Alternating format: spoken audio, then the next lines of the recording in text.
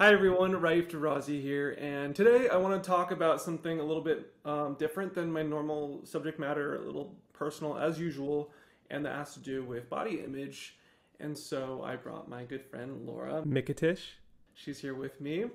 Um, so just a little bit of background. I've known I've known you for like what two years now. I think it's yeah, we're on two years now. Two years. Um, we met through the fitness agency that we're both at, Naturally Fit Agency. Annette is our agent. She's amazing. She's a goddess. Not only does she care, what was that? She's a goddess. yeah, and and a mom, and she doesn't just care that we are like you know good looking and that we're fit and that we're camera ready, but that we're also socially conscious.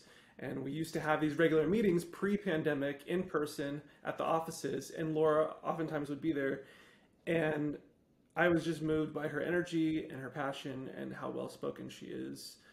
And just how, how self aware she is, especially when it comes to her body and her mental health and well being. So I've been struggling this past year and a half, like majorly, like never before in my life, with my body and my weight. And so I just, I remember the last time I, had a complete meltdown. I immediately thought of Laura. I reached out and I was like, hey, Laura, can we please do this talk? For my my YouTube because not only will it help me, but I think it'll help so many people who are watching it who are in a similar position. And because I'm always just I want to support Laura and, and give her exposure and all that stuff. So, all right, I'm done ranting. Hi, Laura. Welcome. Hi. Thank um, you for um, having me. Can you just start with telling us a little bit about your journey, your story as it relates to fitness and weight loss and your weight journey? Sure. Sure. Um, so right now I am a pro bodybuilding coach and also a health and lifestyle coach. But I didn't start there. I was over 320 pounds. Um, but by the time I graduated college, and my health issues were really out of control. So I was struggling with hypothyroidism. I was teetering on the edge of prediabetes and um, things like my heart. And those conversations were coming up with my doctor at 22, 23. Uh, and then I decided I considered having weight loss surgery, which brought me to the idea of needing to be really strict and really well monitored and really focused and not binge eat, which was what I suffered from.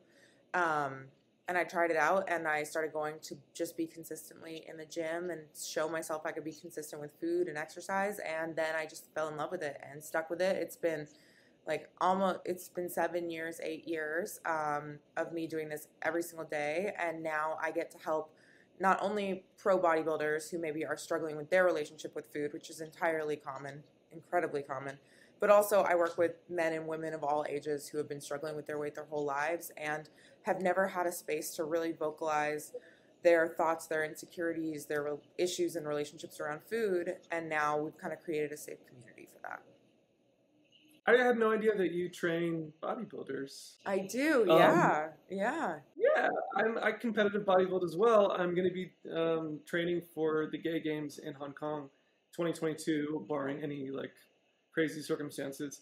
But uh, let's talk after this for sure. Sure, yeah. Um, so I did my first uh, bodybuild pro bodybuilding show in Muscle Beach, Venice in 2019. Placed third, and at that time I was 160 pounds stage weight. Obviously, as you know, that's not sustainable. Since then, I went from 160 to the most I've ever weighed is like 175. Over the course of the pandemic, it kept going higher, like 180, 185, 190, 195. I finally tipped over 200. I think 203 was my max, and I was just like, I, I can't, I can't describe the despair that I felt hitting those numbers and then also feeling like a vain, narcissistic asshole because there are other people who are obese and, and people some people are looking at me and they're like, What are you talking about? You're not fat and I'm I look at the mirror and I'm like I mean it, it's it is it's actually 40 pounds of plus of fat so I'm not just making it all up but but yeah I, I have such a hard time I think that I think that the issue people miss when they're sort of trivializing that feeling because you're you're talking about a feeling that a lot of the bodybuilders that I work with have, which is that they step off the stage and they look the leanest and the smallest that they're ever going to look. And then over the course of time, whether that be circumstance or bulking or whatever it is, they're forced to shift from this identity themselves to another identity. And what happened with the pandemic is you shifted from an identity of being someone who felt like they were physically fit, able, an athlete, to now not only have you put on a, you've put on some weight, but you've actually had to shift your entire identity, which people miss. You've gone to feeling like you don't know how to control your food, feeling like you don't know how to be consistent with exercise. And so the identity that you had as a bodybuilder, as an athlete, all of those things, it almost gets shattered when not when you put on the weight, but when you lose the control. Yeah. And knowing that I'm supposed to be like a fitness model and a bodybuilder and I'm a representative of the fitness community, then I also kind of like feel like a fraud also. And that really, it brings a lot of shame, especially with dealing with Annette and like trying to get work and working with her. I've turned down a lot of things just because I can't. And I think it came to a head when I recently did the Today Show and I saw myself and there was like this like achievement like i'm on the today show talking about hiv and aids and it was supposed to be this like really joyous moment and i was with my boyfriend and he was so excited with me and i was all i could feel inside was just just i felt so horrible.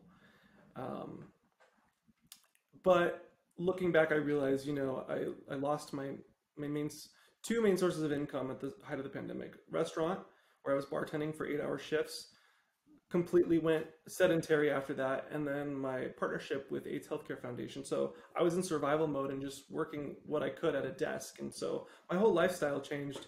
But um, i'm wondering for you was there like a key turning point in your life where something kind of like triggered and then it, it kind of set you off on a journey of rediscovering yourself or yeah how did that come about? Yeah um, i was not a, not athletic athletic child. I loved sports. I loved activities. Um, I was just lazy. So anytime I got the chance to relax or sit or lie on the couch and watch TV, I took it.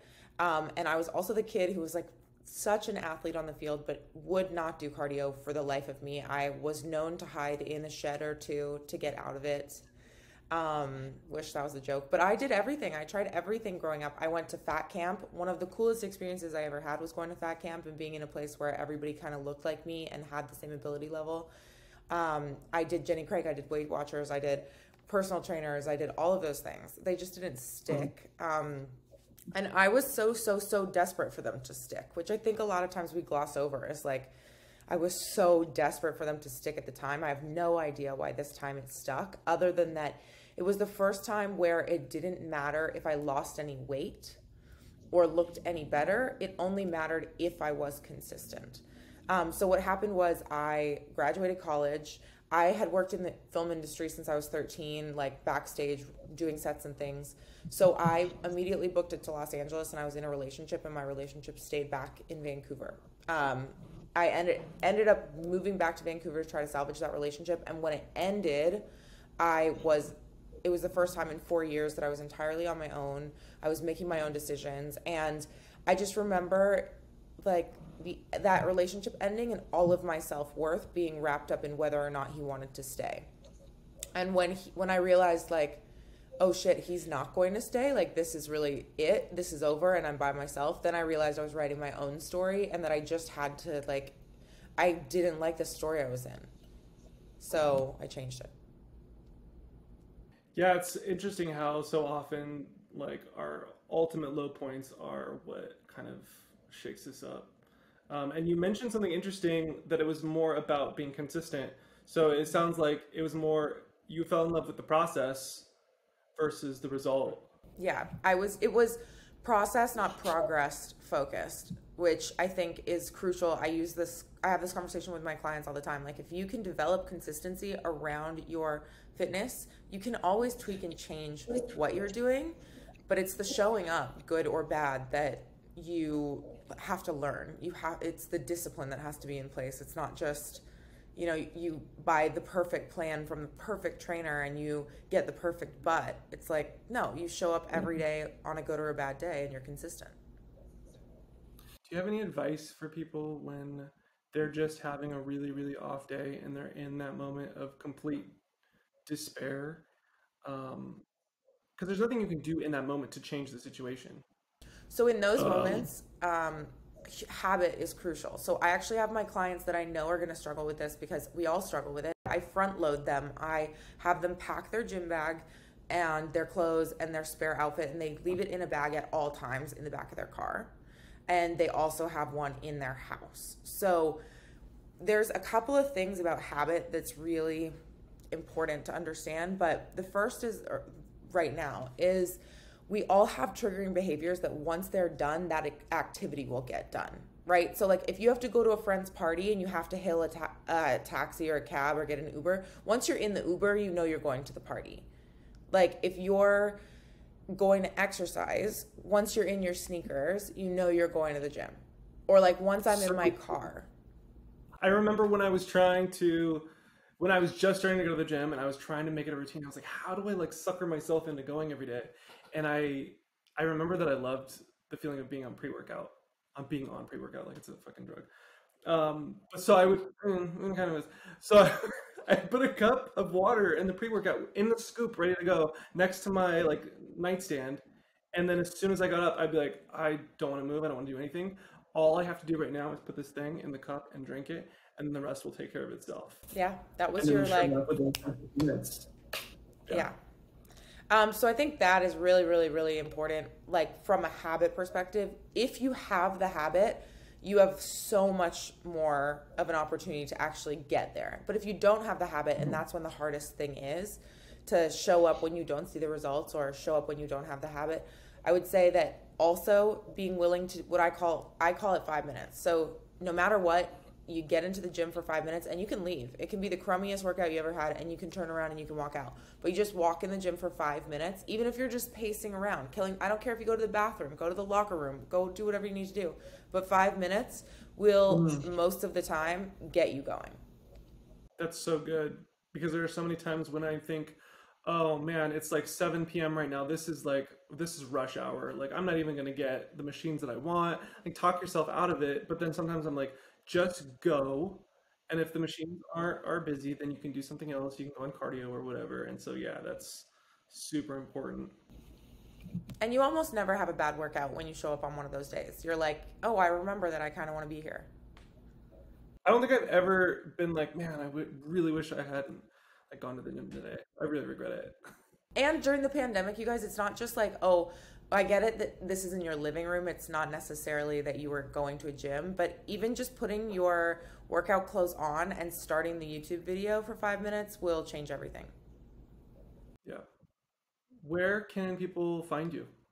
Um, they can find me on Instagram at the Iron Giantess or um, irongiantess.com if you want to reach out about working together from food disorders or from you know trying to get healthy and always feeling like you're failing that's where you find me. I'm on on tiktok on facebook all on all the things. Okay and that's the website is irongiantess.com yep. Okay great. Well laura thank you so much for coming on and joining me and talking to me about this weighty subject for me. Um, i would love to have you back periodically to like kind of d- deep dive a little bit into certain areas if you're if you're willing. I would love that. Yeah, I think there's conversations that need to be had out loud between friends, and we can do that. Okay, very cool, awesome. Um, please like this video if you liked it. Subscribe if you haven't already. Check out Laura, please, please, please. Her content is so valuable and so inspiring. Laura, thank you so much, and we'll see you soon. Thanks for having me. One more thing before I go. If you have any comments or questions for Laura, anything you'd like her to speak on, discuss, for us to talk about in our upcoming videos, please put them in the comments below and we will be sure to look at them. All right, now I'm really gone. Peace.